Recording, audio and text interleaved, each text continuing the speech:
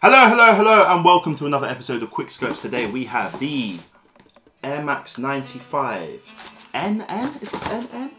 NH. I don't know what NH is. And that is in Ironstone, Celery, Cave Stone. Let me take this opportunity to ask you to like, leave your thoughts, subscribe, ring that notification bell so you don't miss a video. Ah yeah, purchase link for these and other Air Max 95s in the description. Stay tuned for the on foot. So yeah, let's start from the soles up. So we have a black and it's almost like a goldish, like muted gold um, outsole. As you can see, we've got the underbelly of their air unit as well in that sort of goldish color. We've got a black midsole and we've got that goldish, lightish green color again for the airbag in the, um, in the air units. And then we come to this upper. So this upper is like a, it's a canvas kind of material. Very, very cool.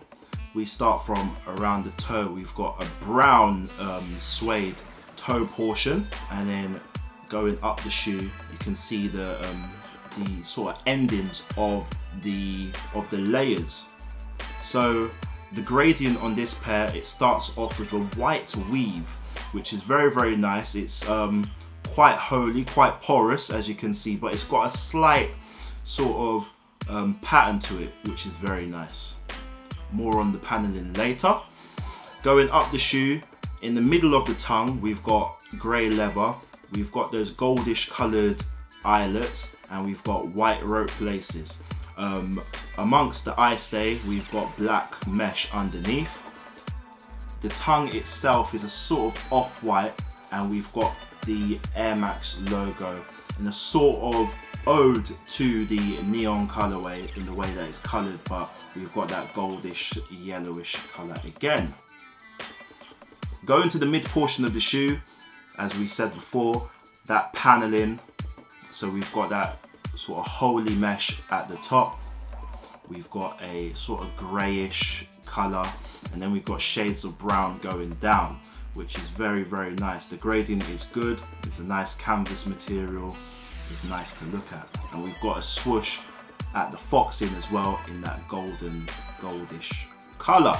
If we go to the heel of the shoe now, you'll see the um, heel portion is the same material, that grey leather, as the um, tongue portion.